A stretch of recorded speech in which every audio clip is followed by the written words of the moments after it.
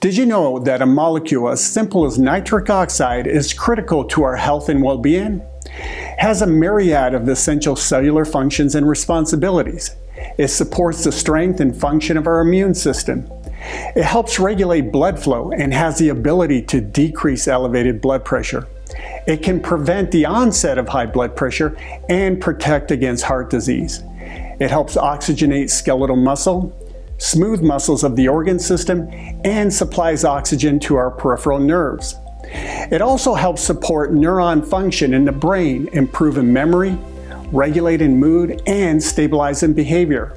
But did you know that one of the hallmarks of aging is a steady decrease in nitric oxide levels with each passing year, contributing to a drastic decrease in our health? So in part one of this video series, I'll help you identify the main culprits in your life that are nitric oxide destroyers. And in part two of this video series, I'll show you how you can effectively and inexpensively rebuild your nitric oxide levels. Stick around, you don't want to miss this.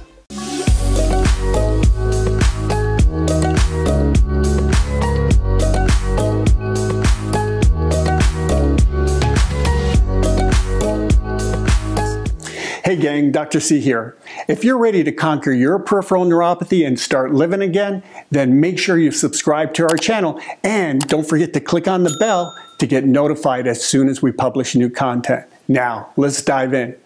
Nitric oxide is naturally produced in the body by endothelial cells of the inner walls of the blood vessels and epithelial cells in the nasal cavities, primarily the paranasal sinuses.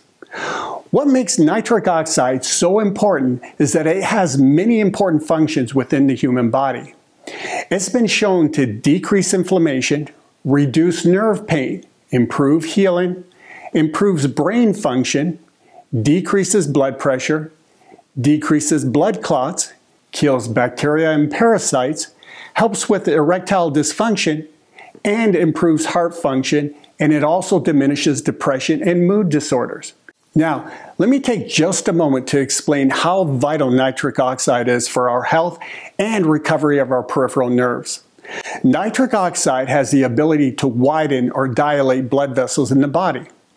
This isn't just important for establishing healthy blood pressure levels, this is essential to allow increased oxygen and nutrient delivery to peripheral nerves to aid in the repair and regeneration. Believe it or not, we're just barely scratching the surface of the power of nitric oxide. If you want to learn more about this amazing molecule, you'll want to check out our video, The Miracle, Miracle Molecule. I'll leave a link in the, in the box below. Now, here's what you really need to know. Your ability to produce nitric oxide diminishes as you get older, causing a substantial decrease in nitric, nitric oxide production. For instance, by the time men hit age 40, there's usually a 50% decrease in nitric oxide production. It's not quite as severe in women with only a 15% drop by the age of 40. But women begin to catch up to men by the next decade. By the time men and women hit 50 years old, there's close to a 70% drop off in nitric oxide production, and the numbers continue to decrease with each decade. By 70 years old, there's little to no nitric oxide production in the body. Now, that should scare the hell out of you, or better yet, at least motivate you. The good news is that it has less to do with your chronological age and more to do with your lifestyle habits taking a, a toll on your health. And the reason that this is good news is because I'm going to arm you with identifying the things in your life that are killing your nitric oxide production, killing your health, and possibly preventing your nerve recovery. Let's start by addressing the elephant in the room. And that's number one, physical inactivity. Lack of regular physical activity will reduce the body's ability to produce nitric oxide. Exercise in any form stimulates endothelium of the blood vessels to release nitric oxide. Now, sedentary behavior, which is a euphemism for being a couch potato, will lead to lower nitric oxide levels. Now, I do know that there are some of you that would love to get back to working out, whether it's in the gym, hiking, biking, walking, or whatever your favorite activity might be. But you just can't because the neuropathy will flare up and it'll put you down for the next few days. So you're wondering, how do you get around this? Don't worry, I have a solution for you. You can start by doing the exercises that I've outlined for your peripheral neuropathy recovery. Dr. M and I have put together a series of neuropathy exercises that are vital for your recovery. And if your neuropathy is severe, don't worry because we've broken each exercise down separately so you can start off with just one or two, which will only take you five minutes. This will still have a significant impact on your peripheral nerve recovery along with increase in nitric oxide production without flaring up your neuropathy. I'll include a link below to our neuropathy exercise playlist. We have a couple different versions. One is fully narrated where we explain each exercise. That's designed for someone who's never seen these exercises and doesn't know how to do them. Our second version eliminates us speaking and supplies you with just the exercise to an upbeat musical background. And of course, we've broken down each exercise into its own video just in case you need to start off slowly with just one or two exercises at a time. There, easy fix. So there should be no excuses. Okay, let's look at the second cause of a decreased nitric oxide production, sleep deprivation or insufficient sleep. Now, just for a moment, let's put aside people who are having difficulty sleeping because of their neuropathy symptoms. Don't worry, I'll also address this for you guys too. But first, let's tackle the group who has the worst sleep habits. You stay up late at night watching TV, or you watch TV in bed and fall asleep with it on. You work on a computer, laptop, or a tablet late at night. You sleep with your smartphone or your computer in your bedroom and you don't get a full seven hours sleep, which is the bare minimum that you need. These habits are definitely destroying your nitric oxide production. Now, for those of you who can't sleep because of your neuropathy symptoms, the first thing you want to do is make the house a bit warmer while you sleep by one or two degrees. Now, this is typically contrary to good sleep hygiene.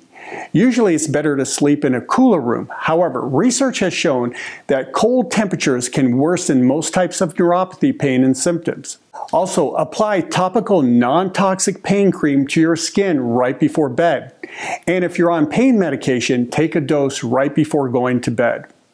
Lastly, stop all screen time at least one hour before bed and avoid bright lights in the house or the bedroom. This can upset your sleep cycles, making you more vulnerable to waking up from your, your neuropathy symptoms. Okay, moving on to number three, chronic stress. Now, chronic stress is a major contributing factor to inflammation leading to damaged cells, including damage to blood vessels and the immune system. Glucocorticoid hormones like cortisol are one of the hormones that negatively affect the production of nitric oxide, causing your levels to plummet. Okay, moving on to number four, bad fats. When we're talking about bad fats, we're really referring to trans fats, also known as hydrogenated or partially hydrogenated fats and seed oils. Seed oils like vegetable oils, corn oil, canola oil, or rapeseed oil if you're in the UK, soybean oil, sunflower and safflower oil, grapeseed oil, rice bran oil, and palm kernel oil. These are oils that are omega-6 fatty acids, which we get in a, in a largely disproportionate amount. The end result is inflammation and significant damage to blood vessels and heightened immune responses like in autoimmune diseases. Make sure to avoid these oils at all costs. Okay, moving on to number five processed foods, and beverages. When you're consuming processed foods, and remember, this isn't just necessarily junk food, it can be any food that comes in a box, carton, or can. These foods tend to be highly processed and loaded with tons of sugar, preservatives, MSG, and let's not forget about artificial sweeteners. So let's address sugar first because its effects are really unique and quite scary. Sugar spikes from eating tons of carbs and processed foods deactivate nitric oxide molecules and enzymes, leading to a steep decline in nitric oxide production.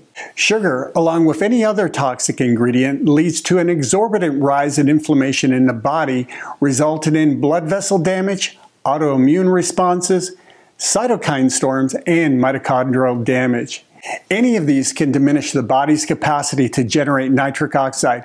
And when you stack two or more of these together, you're destroying your nitric oxide production and greatly diminishing your body's ability to heal. Okay, on to number six, mouthwash. Did you know oral bacteria, the bacteria in your mouth, plays a key role in nitric oxide production?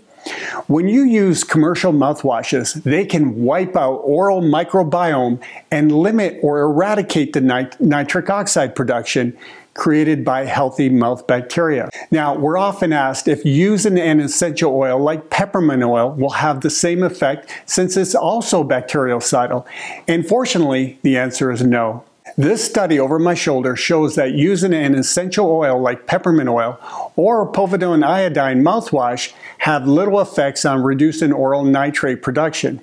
We did a video on this topic and I go into much more details, so I'll leave a link for that below. Okay, on to number seven, alcohol consumption. Chronic alcohol consumption, whether it's weekly or daily, will reduce nitri nitric oxide production. Although the focus of this video is on nitric oxide, I do want to remind you that research has shown that consuming one to two glasses of wine or beer daily for one year or more can result in peripheral nerve damage. And the last one on our list that I'll cover today is number eight, smoking and vaping. Research has shown that both smoking and vaping can significantly lower nitric oxide production. Both smoking and vaping can introduce chemicals into your body that have been shown to cause extensive damage to endothelial cells of your blood vessels, impairing the body's ability to generate nitric oxide. So, health warriors, you can see how extremely important it is to dodge these bullets that will squelch your nitric oxide production. It literally can mean the difference between recovery or relapse of your peripheral neuropathy. We know that the peripheral nerves are the slowest healing tissues in your body, so it's critical to re remove as many obstacles as possible and arm your body for a successful recovery. And in part two of this video series, Nitric Oxide Rebuilders, I'll go over everything you can do to restore your nitric oxide levels. So make sure you subscribe and click on the bell to get notified as soon as part two is released. Together, let's embark on this transformative journey towards great health and complete neuropathy recovery fueled by the power of nitric oxide. I look forward to seeing you on the road to great nerve health.